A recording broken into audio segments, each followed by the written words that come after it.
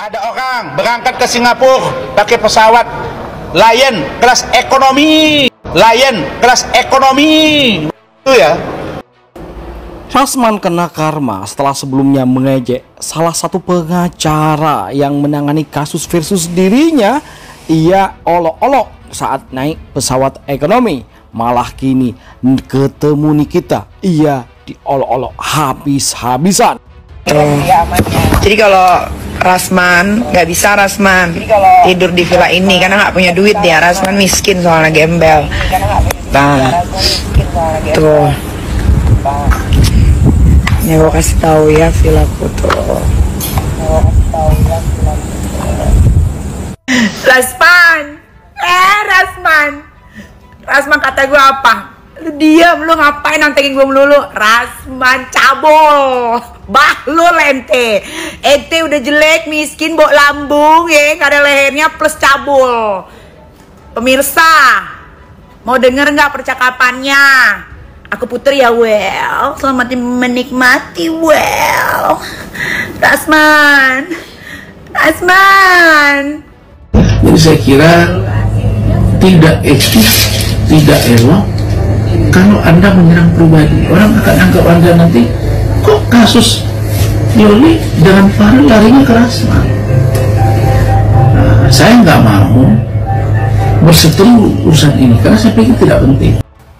Rasman rupanya ketakutan dia diobok-obok oleh Nikita Mirzani Padahal ia tidak boleh menolak lupa bahwa dirinya yang awal-awal mengobok-obok Nikita Mirzani dengan statementnya Tetapi ketika Nikita mulai melakukan hal yang agresif Rasman Ketakutan dan nampak panik Rasman, Rasman, bokeh ya?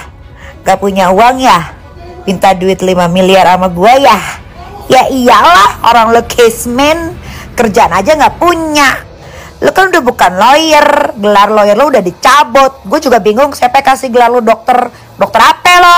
Ah, dokter jin lo tau nggak? Lo sebelum ketemu sama gua, tolong cek gigi dulu karena pernapasan lo bau bangke. Katanya belum bayar di hotel itu. Eh, saya mau ini. Saya nggak mau nanya itu ya. Ini yang substan. kalau jadi wartawan itu nanyanya yang nyambung dikit nggak pak? Pak Rasman kan mau menerima pertanyaan-pertanyaan yang substantif bukan nggak bayar hotel emang nggak bayar hotel ya pantesan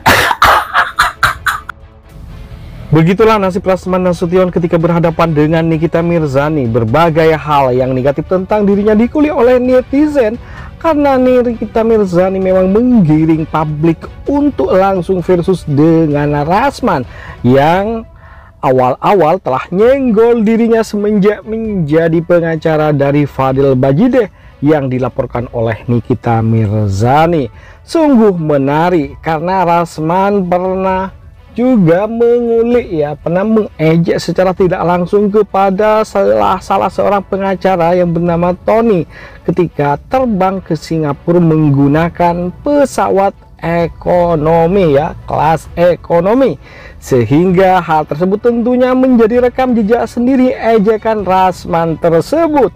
Dan ketika ia berival dengan Nikita Mirzani wah ia akhirnya harus menerima sentilan Nikita Mirzani yang juga ternyata menggembalikan menggembalikan karmanya yakni Rasman kini balik diajak oleh Nikita Mirzani ya dicemooh karena tentunya Rasman disebut-sebut oleh Nikita sebagai lawyer yang kismin. Ya sama dengan kliennya tentu hal itu adalah pukulan telak karena yang menunggu waktunya saat Rasman dulu menga, apa ya mengolok-olok ya mencemooh pengacara Tony ketika itu yang naik pesawat kelas ekonomi pergi ke Singapura. Sungguh hal yang cukup menarik dan tentunya kita bisa mengambil hikmah bahwa ternyata nasib baik tak akan selalu bersama kita ya. Apalagi pernah mencemooh mengejek orang lain ya yang berupa karmalah kata orang Jawa menyebutnya.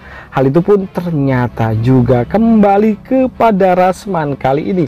Ketika ia harus berhadapan dengan Nikita Mirzani yang tentunya belak-belakan dan pernah menampol dirinya saat menggelar press conference bersama para wartawan ia malahan dilabrak oleh Nikita Mirzani.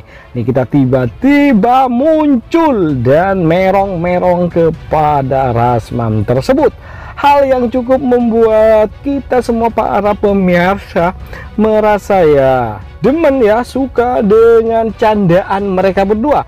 Candaan nih kita Mirzani dan Rasman tersebut yang berujung tentunya adalah pada kasus putri Nikita Mirzani yakni si Loli dan Fadel Bajideh yang sampai saat ini masih bergulir di pengadilan Nah, di kepolisian ya maksudnya di Polres Metro Jakarta Selatan. Tentu Fadil karena mangkir kemarin tanpa alasan yang jelas.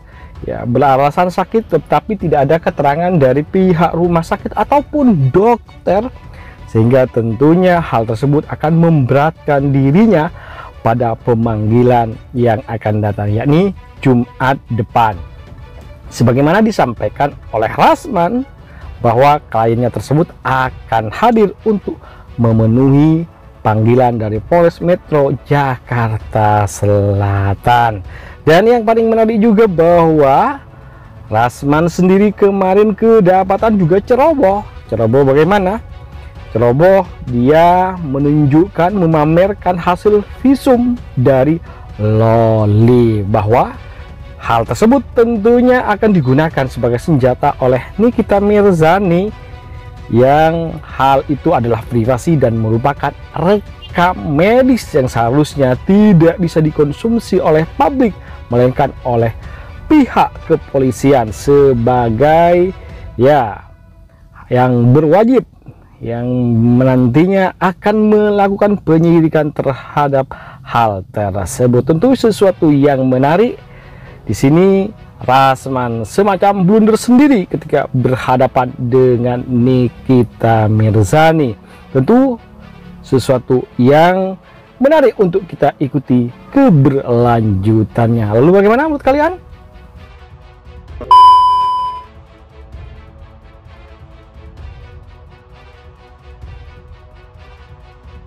Bagaimana menurut kalian guys? Jangan lupa kasih komentar, like, dan masukan agar tambah seru keuangan mereka berdua yang so selalu akan kita sajikan kabar terbaru terupdate tentang selebriti tanah air dan mancanegara yang bakal bikin kita semua happy senang dan update akan kabar berita terbaru tentang mereka tentunya. Oke itu saja kabar dari kami. Jangan lupa like, komen, dan subscribe. Terima kasih telah menonton. Yuk, bye-bye.